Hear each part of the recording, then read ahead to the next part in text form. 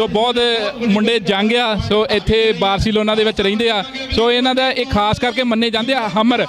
Hummer ਇਹਨਾਂ ਕੋ ਗੱਡੀ ਬੜੀ ਇੱਥੇ ਇਹਨਾਂ ਨੇ ਬਾਰਸੀਲੋਨਾ ਦੇ ਵਿੱਚ ਰੱਖੀ ਹੋਈ ਆ।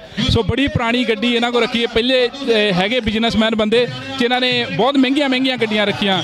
ਹਮਰ ਗੱਡੀ ਇਹਨਾਂ ਨੇ ਪ- ਜਿਹੜੀ ਲਿਆਂਦੀ ਸੀ, ਇੱਥੇ ਬੜਾ ਮਾਣ ਮਹਿਸੂਸ ਹੋਇਆ ਸਾਰਿਆਂ ਨੂੰ। ਸੋ ਹੁਣ ਕਿਹੜੀ ਕਿਹੜੀ ਗੱਡੀ ਆ ਤੁਹਾਡੇ ਕੋਲ ਭਾਜੀ? ਪਹਿਲਾਂ ਤਾਂ ਤੁਸੀਂ ਇਹ ਦੱਸੋ ਆਪਣੀਆਂ ਗੱਡੀਆਂ ਬਾਰੇ। ਜਿਨ੍ਹਾਂ ਬਾਰੇ ਤੁਸੀਂ ਫੇਮਸ ਆ ਇੱਥੇ? ਹਾਂਜੀ, ਸਤਿ ਸ਼੍ਰੀ ਅਕਾਲ ਜੀ ਸਾਰਿਆਂ ਨੂੰ। ਭਾਜੀ, ਆਪਣੇ ਕੋਲ ਇੱਕ ਤਾਂ ਹਮਰ ਹੈ ਨਾ H2 ਉਸ ਤੋਂ ਬਾਅਦ ਮਸਟੈਂਗ ਆ ਸ਼ੈਲਬੀ ਕਿੱਟ ਉਸ ਤੋਂ ਬਾਅਦ ਇੱਕ ਆਡੀ ਆ ਆਪਣੇ ਕੋਲ, ਇੱਕ ਡੋਜ਼ ਦਾ ਪਾਵਰ ਵੈਗਨ ਆ। ਤੇ ਰੇਂਜ ਰੋਵਰ ਵੀ ਹੈਗੀ ਆ ਬਾ ਗੱਡੀਆਂ ਤਕਰੀਬਨ ਸਾਰਾ ਗੱਡੀਆਂ ਦਾ ਹੀ ਸ਼ੌਂਕ ਆ।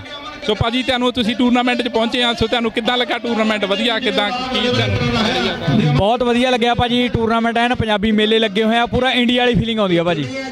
ਤੁਸੀਂ ਦੇਖਿਆ ਵੀ ਇੱਥੇ 8 ਟੀਮਾਂ ਭਾਗ ਲਿਆ ਉਹਨਾਂ ਨੇ ਇੰਟਰਨੈਸ਼ਨਲ ਖਿਡਾਰੀ ਇੱਥੇ ਪਹੁੰਚੇ ਹੋਏ ਆ ਲੈਂਦੇ ਤੇ ਚੜ੍ਹਦੇ ਪੰਜਾਬ ਤੋਂ ਖਾਸ ਕਰਕੇ ਦੇਖਣ ਆਏ ਹੋਏ ਆ।